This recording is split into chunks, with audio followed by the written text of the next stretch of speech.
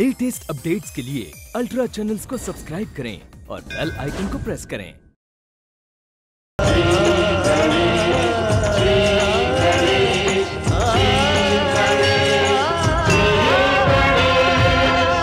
क्या ये तुम्हारा अंतिम निर्णय है नहीं, इस संसार में किसी भी विचार का अंतिम निर्णय लेने का अधिकार आशुतोष भगवान शिव के पास सुरक्षित है। हम तो केवल उनसे निवेदन कर सकते हैं। भगवान शिव से निवेदन करने से पहले हमें अपने निवेदन के सभी पहलुओं पर विचार कर लेना चाहिए। तो तुमने क्या सोचा? मैंने जो सोचा है गजानन वह तुम नहीं सोच रहे। हम्म, मैं सोच रहा हूँ कि मत्सरासुर को भगवान शिव का वरदान मिलेगा तो वह और भी भयानक हो जाएगा। और यदि वरदान नहीं मिलेगा तो आराधना और तपस्या की परंपरा सदा सदा के लिए समाप्त हो जाएगी। तब तो हमें किसी ऐसे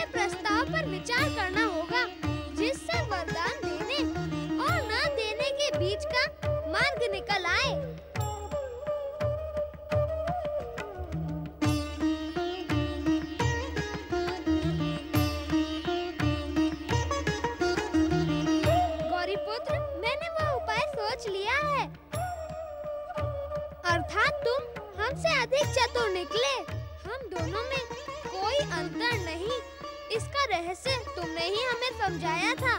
तुम मेरे मन की बात जान गए हो। हम अपना निर्णय आशुतोष भगवान शिव को सुना देते हैं। चलो चलो। ओम नमः शिवाय। ओम नमः शिवाय ओम नमः शिवाय ओम नमः शिवाय ओम नमः शिवाय ओम नमः शिवाय ओम नमः शिवाय ओम नमः शिवाय ओम नमः शिवाय प्रणाम पिताश्री प्रणाम माताश्री पिताश्री आपकी आज्ञा से हमने सभी पहलुओं पर विचार, विमर्श करके यह निर्णय किया है कि मत्सरासुर को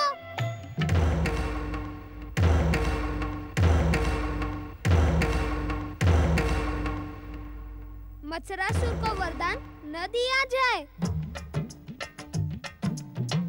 साम सदाशिव गौरी पुत्र और गजानन श्री गणेश की। जय।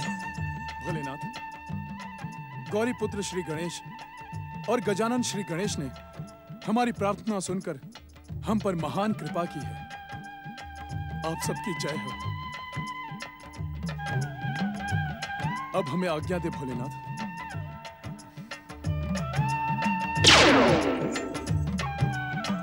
तुम दोनों का प्रस्ताव हमें स्वीकार है। हम मत्सरासुर को वरदान देने नहीं जाएँगे परंतु मत्सरासुर ने एक तपस्वी का कर्तव्य निभाया है। उसके साथ क्या किया जाए इस पर तुम दोनों ने विचार किया है? अवश्य पिताश्री हमने वो निर्णय तुम मुझे नहीं अपनी माता पार्वती को बता देना।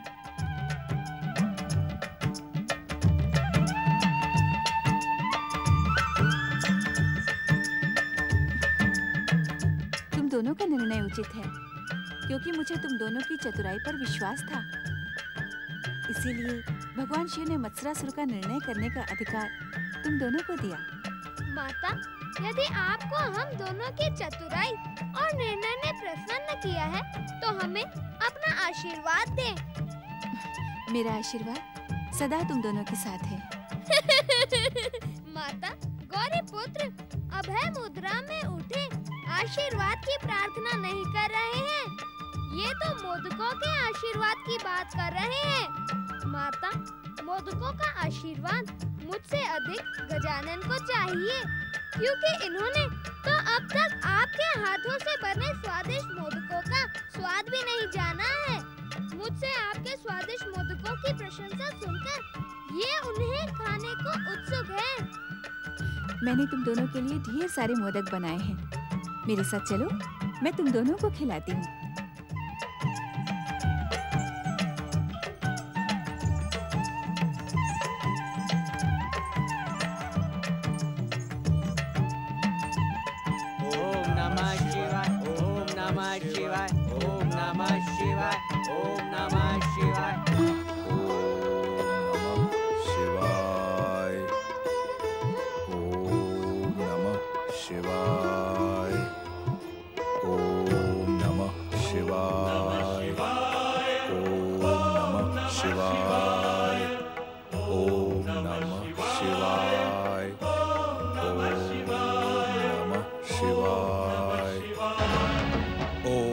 नमः शिवाय।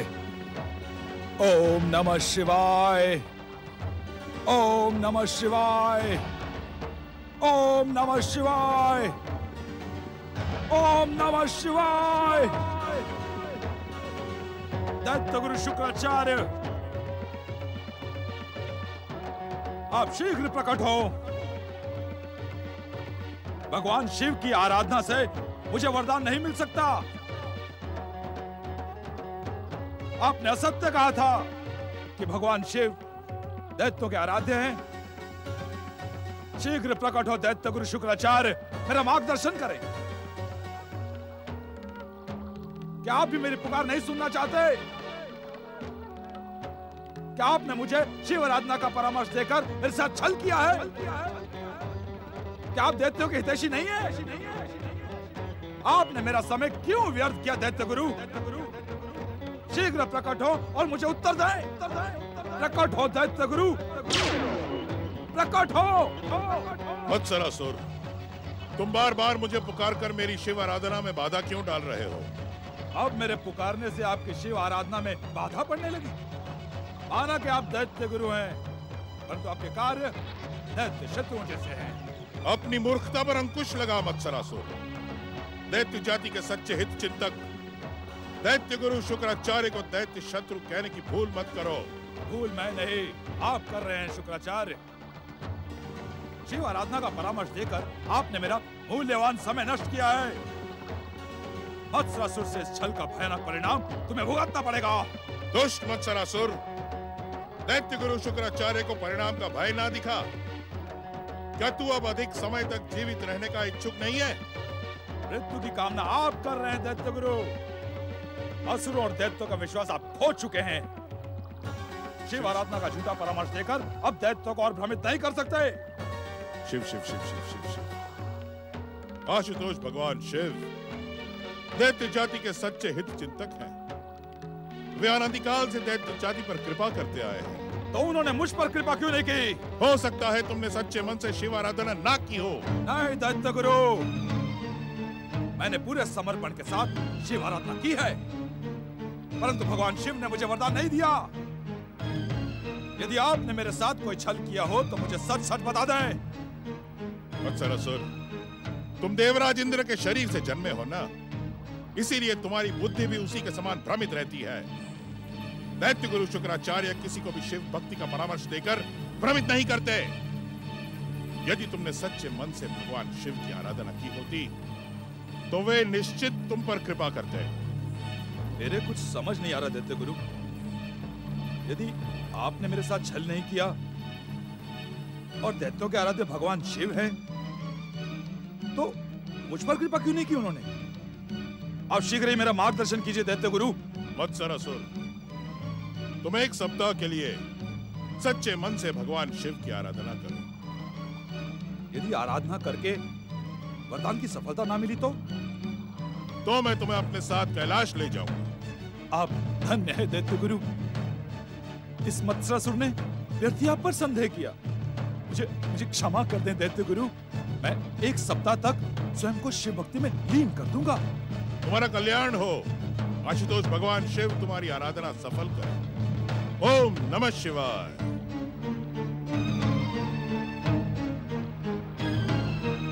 ओम नमः शिवाय।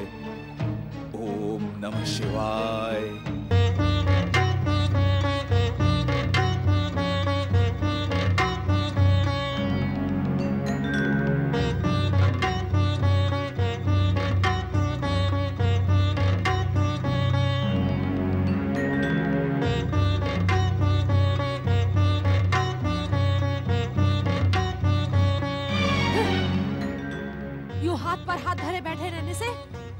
कुछ भी प्राप्त नहीं होगा।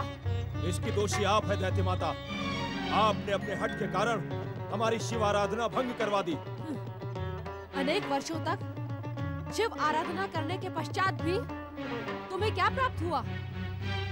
मैंने तुम्हारी शिव आराधना भंग करके उचित ही किया है। आप कोई उचित काम करवा सकती हैं। इस पर मुझे संदेह है दैत माता। आप जो भी कार्य करती हैं वो अनुचित ही होता है। अपनी मर्यादा को लांघने का दुस्साहस ना कर कमलाक्ष। दैत्य माता दिति का अनुचित कार्य भी उचित ही होता है। ब्रह्माराधना का परामर्श देते समय आपने उसे उचित बताया था परंतु हमारी ब्रह्माराधना असफल हो गई। जिस शिव भक्ति से हमारे जीवन की डोर बंधी थी वो भी आपके अनुचित विचारों के कारण टूट गई। अब शिवकोप से हमारी रक्षा कोई नहीं कर पाएगा। अब हम निश्चित मारे जाएँगे। तुम जैसे कायरों का मर जाना ही उचित है। तुम दैत्य जाति पर कलंक हो। असुरों के नाम पर काला धब्बा हो। मैंने आज तक तुम्हारे जैसे कायर और डरपोक असुर नहीं देखे। तुम्हारे भीतर तुम्हारे महान पिता का एक भी गुण नहीं है। इसके भी दोषी हम नहीं है दैत्य माता। आपके प्रिय पितामह ब्रह्मा जी हैं जिन्होंने हमें इतना व्यर्थ वरदान दिया। वरदान दिया नहीं जाता मांगा जाता है। जब तुमने व्यर्थ वरदान मांगा है तो तुम्हें व्यर्थ वरदान ही मिलेगा। जब तुम बबूल बोओगे तो तुम्हें आम कहाँ से मिलेंगे? हमने बबूल नहीं बोए दैत्य माता। हमारे मार्ग में बबूल के कांटे तो दुष्ट देवताओं ने आपके प्रिय ब्रह्मा जी से साठ गांठ करके बिछा दिए। अब हम विवश हैं। तुम तो तब भी विवश थे जब सिंधु ने तुम्हें पराजित किया था। भयासुर के सामने भी तो तुम विवश हो गए थे। विवशता ही तुम्हारे जीवन की पहचान बन गई है। अरे मूर्खो, मेरे पितामह ब्रह्मा जी ने तुम्हें अतुल्य दैत्य शक्ति का वरदान भी दिया था। शिव आराधना के चक्कर में फंसकर तुम दोनों ने आज तक अपनी भयानक, विध्वंसक और वरदानी दैत्य शक्ति का प्रयोग नहीं किया। मेरी आज्ञा मानो और अपनी भयानक दैत्य शक्ति का प्रयोग करके मुझे इस बंदी गृह से बाहर निकालो। ये बंदी गृह नहीं है दैत्य माता। वरदानी भैया कमलाक्ष का रजतपुर है। तुम्हें यहाँ संसार का हर सुख प्राप्त हो सकता है। संसार को देखे बिना ही संसार का सुख? अरे मूर्खो मेरी तो इस संसार को अपने चरणों में झुका देने की कामना है। परंतु तुम जैसे कायरों के साथ रहकर मेरी ये कामना कभी पूरी नहीं हो सकती। आप भीरू और कायर कह के बार बार हमारा अपमान कर रही है दैत माता। तुम दोनों अपमान और प्रताड़ना के ही योग्य हो? तुमने आज तक अपने पराक्रम को सिद्ध और वरदान को प्रमाणित करने वाला कोई भी कार्य नहीं किया। अवसर आने पर हम अपने पराक्रम से संसार को अपने चरणों में झुका देंगे।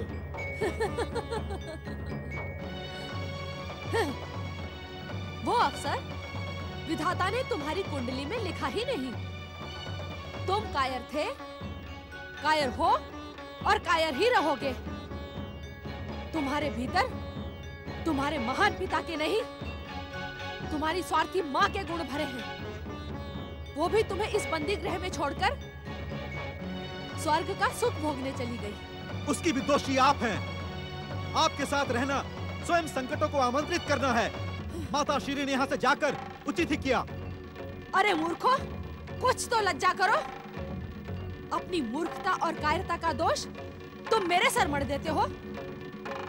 यदि तुमने अपनी वरदानी शक्ति का प्रयोग करके मुझे इस बंदी गृह से बाहर निकाला तो मैं तुम दोनों को तारक पुत्र स्वीकार कर लूँगी।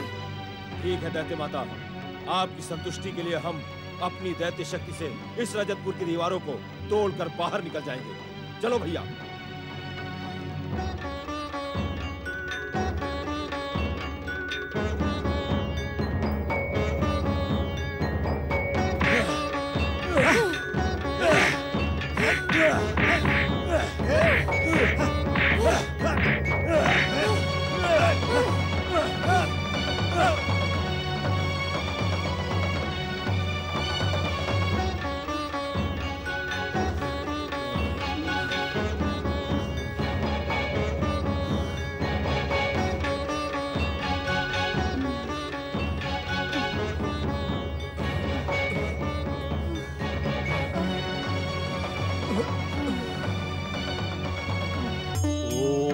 महागणेशाय नमः।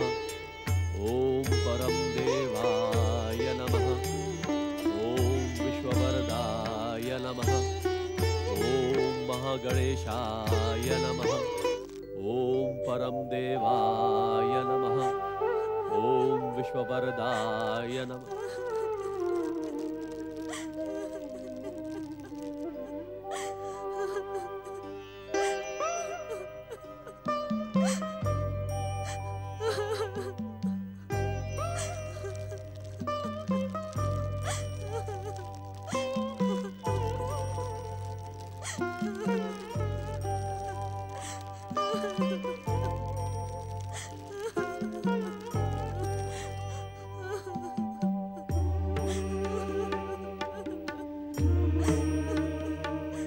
पुत्र वियोग ने तुम्हें बावला कर दिया है, देवी अदिति। धीरज रखो। मौत कट को जितने दिनों तक हमारे साथ रहना था, वे रहे। हमें परम देव श्री महागणेश के निर्णय को स्वीकार कर लेना चाहिए, देवी। इसी में हम सबकी भलाई है। नहीं, स्वामी। मैं मोहतकट के वियोग का निर्णय स्वीकार नहीं कर सकती। न जाने। मेरे आराध्य परम देव श्री महागणेश मेरे साथ आँख मिचोली का खेल क्यों खेल रहे हैं? आँख मिचौले का खेल? हाँ स्वामी उनके बाल अवतार हमें अपनी झलक दिखा दिखा कर चले जाते हैं और मैं रोती रह जाती हूँ। यदि आप मेरी एक बात माने तो मैं आपसे एक प्रार्थना करना चाहती हूँ। अवश्य देवी। स्वामी आप मुझे माता पार्वती के पास कैलाश ले चले। उनके चरणों में बैठकर मैं गौरी पुत्र श्री गणेश के निरंतर दर्शन करती रहूँगी। तभी मेरे मन को शांति मिलेगी। ऐसा करना उचित नहीं है देवी अदिति भगवान शिव और माता पार्वती की आज्ञा पाए बिना मैं कैलाश चलने की स्वीकृति नहीं दे सकता। पिताश्री, प्रणाम माताश्री। आप दोनों को कैलाश जाने की आवश्यकता नहीं है। मैं गौरी पुत्र का बदला रूप। हूँ आज से मैं दृश्य और अदृश्य रूप में सदा यहाँ निवास करता रहूँगा।